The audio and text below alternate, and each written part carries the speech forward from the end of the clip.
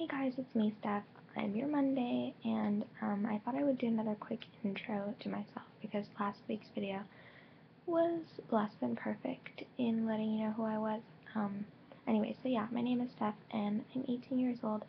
Um, my birthday is next week, and I go to school. I'm in second year university, and I go to school in Ontario, Canada. That's where I live too.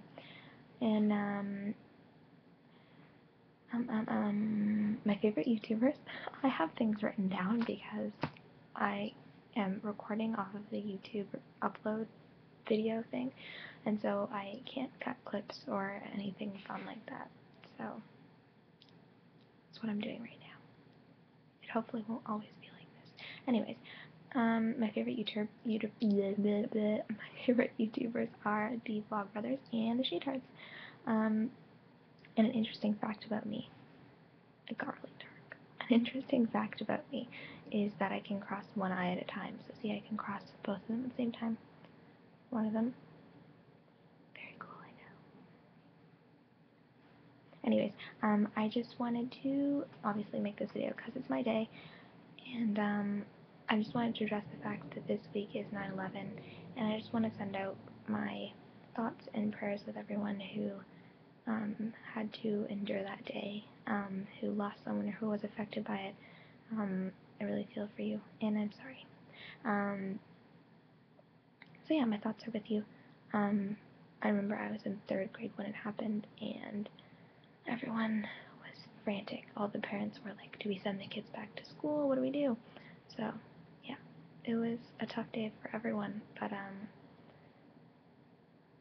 it's been 11 years since then, and um,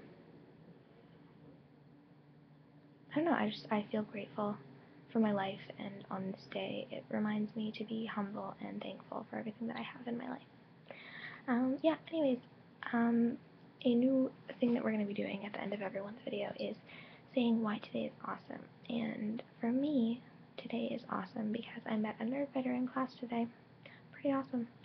Um, we were getting to know each other. We got paired up because I, it's a new class, started the year, and um, we got paired up and we're supposed to tell each other our favorite book.